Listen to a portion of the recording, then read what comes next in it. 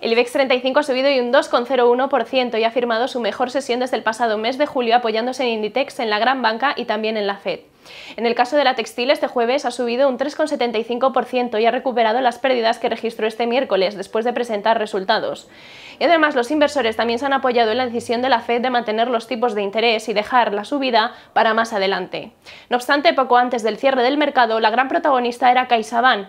La CNMV ha suspendido al banco de cotización cuando caía más de un 3% tras anunciar que va a poner a la venta el 9% de su capital para financiar la compra del uso BPI. José María Rodríguez, analista técnico de Bolsamanía, ha destacado la buena marcha del selectivo español en lo que va de semana, que acumula una subida del 3,5% a falta de una sesión y destaca que acabar este viernes por encima de los 9.025 puntos sería una importante señal de fortaleza.